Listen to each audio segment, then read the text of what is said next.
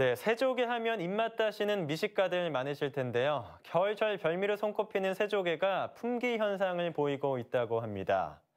수확량이 크게 줄면서 값은 천정 부지로 치솟고 있습니다. 박승현 기자가 취재했습니다. 새조개 채취에 나서야 할 어선들이 항구에 정박해 있습니다.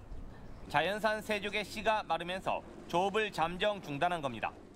이렇게 새조개 채취를 포기한 어선은 이 항구에서만 모두 20여 척에 이릅니다. 올겨울 여수 지역 새조개 수확량은 지난해 같은 기간의 0.03% 수준인 100kg에 불과합니다. 지난해 극심한 가뭄으로 바다 염분이 상승해 산란기 새조개에 영향을 끼친 것으로 보입니다. 상품성이 없는 새조개밖에 없어가지고 한 1년 정도는 더 봐야 될 것 같다고 하더라고요. 이제 그래가지고 좀 금액도 많이 오른 것 같고 네, 저희 쪽도 이제 작업을 나가야 되는데 이제 작업 못 나오고 그러고 있습니다.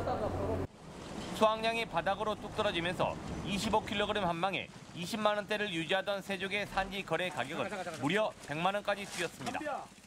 이렇게 안 난 적도 드물고 이렇게 또 알이 적은 것도 드물고 이렇게 비싼 것도 드물고 그러니까 아예 안 드립니다 물건을. 한 해 평균 100억 원의 어업 소득을 올려주던 바다의 노다지 새조개가 자취를 감추면서 어민들의 시름이 깊어지고 있습니다. KBC 박승현입니다.